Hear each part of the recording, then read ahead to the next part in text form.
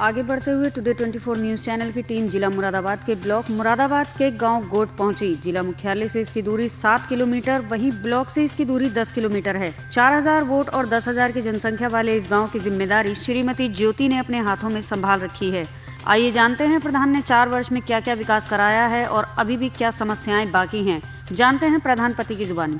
Today 24 news में आपका स्वागत है। इस समय हम मौजूद हैं ब्लॉक मुरादाबाद के गाँव गोट में। यहाँ प्रधान द्वारा काफ़ी विकास कार्य करवाए जा चुके हैं जिसकी पूरी जानकारी हम यहाँ प्रधानपति से लेकर आपको बताएँगे। तो चलते हैं प्रधानपति के पास। टुडे 24 न्यूज़ में आपका स्वागत है। प्रधान यहाँ पर आपकी पत्नी है। जी।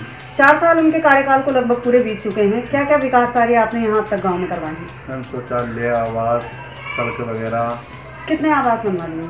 मैडम आवास करीब बनवा दिए चौंतीस पैंतीस आवास बनवा दिए। शौचालय कितने शौचालय से गाँव ओडीएफ हो गया? शौचालय बनवाए थे मैडम ढाई सौ किलोमीटर ओडीएफ तो हो गया गाँव पूरा। जी। जी यहाँ पर सड़कें सीसी कार्य आपने करवाया जी टाइल्स वगैरह। काफ़ी बहुत बुरी हालत थी यहाँ पर। अब काफ़ी बेहतर है। मतलब यहाँ पहले ज़्यादा कच्चे रास्ते थे जो आपके कार्यकाल में हुए कच्चे रास्ते थे बहुत खराब स्थिति गाँव की। जी। सरकार की जो योजनाएँ हैं उज्ज्वला कनेक्शन बिजली कनेक्शन क्या इनका लाभ आपके गाँव में सभी को मिल पाता? है जी मैडम अधिकतर अधिकतर मिला लोगों को। जी। किसानों के खातों में जो सम्मान निधि का पैसा आ रहा है क्या वो यहाँ मिला है?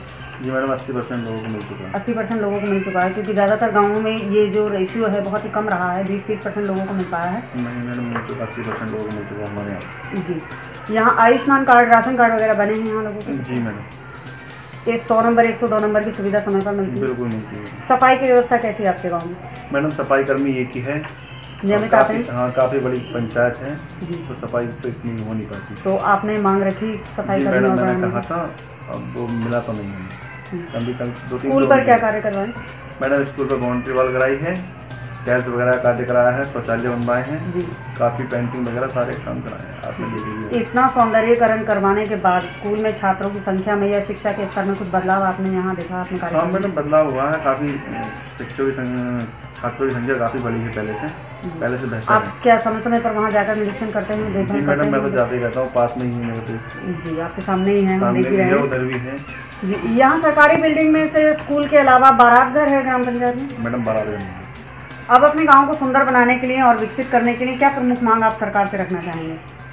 मैडम सरकार से पहली बात तो मैडम हमारे गाँव का पानी का निकास नहीं है क्योंकि पानी जगह जगह पानी भरा रहता है तालाबों में पूरा चौमासे के टाइम सारे गाँव में पानी भरा रहता है पानी का निकास जल निकासी की यहाँ कोई व्यवस्था नहीं है अभी तक। तो उसके लिए क्या चाहते हैं आपकी नाला निर्माण यहाँ सरकार करवाए कोई? सरकार द्वारा जी बारात घर पंचायत घर के लिए भी आप सरकार से मांग रखना चाहेंगे? और कोई समस्या आपके गाँव में पानी पीने की जो सुविधा है वो सही है यहाँ पर? हाँ पानी पीने की सुविधा बढ़िया है। और कोई समस्या आपके गाँव में और वैसे कोई सुविधा समस्या नहीं है कोई परेशानी नहीं है। जैसा कि आपने देखा प्रधानपति से हमने यहाँ बातचीत की है। काफ़ी विकास यहाँ इनके द्वारा करवाया गया है। सीसी का सीसी कार्य, सड़क निर्माण, आवास भी यहाँ लोगों को दिलवाए हैं। शौचालय से भी गाँव ओडीएफ हो चुका है। लेकिन अभी भी कुछ मूलभूत समस्याएँ यहाँ बाकी हैं, जैसे कि सबसे प्रमुख समस्या जो यहाँ प्रधान द्वारा बताई गई है, यहाँ जल भराव की समस्या बहुत ही सामने आती है। बरसात के दिनों में यहाँ पूरे गाँव में जल भराव की समस्या से लोग जूझ रहे हैं, जूझते हैं। इनका कहना है और इनकी मांग है सरकार से इंटर कॉलेज की समस्या कि यहाँ पर ये एक नाला निर्माण करवाना चाहते हैं। इसके साथ ही एक इनकी मांग जो रखते हैं एक इंटर कॉलेज के लिए रखते हैं कि ये काफ़ी बड़ी ग्राम पंचायत है। कई हज़ार जनसंख्या यहाँ पर मौजूद है जिसके लिए इनका मानना है कि यदि इंटर कॉलेज गाँव के अंदर ही मौजूद रहेगा तो लोगों को बच्चों को ज़्यादा पढ़ने के लिए ज़्यादा बाहर जाने की परेशानी नहीं उठानी पड़ेगी। अशरफ अली के साथ मैं नाजरीन टुडे ट्वेंटी फोर से। जी मैडम क्या नाम आपका? मेरा नाम आलमा खालिद है। जी कब से यहाँ पे आप विद्यालय में हो? मैं यहाँ 2015 से हूँ।